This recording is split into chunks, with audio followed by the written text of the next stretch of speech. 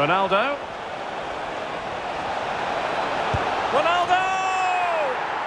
And a goal! They've increased their lead, and they don't want to be throwing it away from here. So 2-0 now.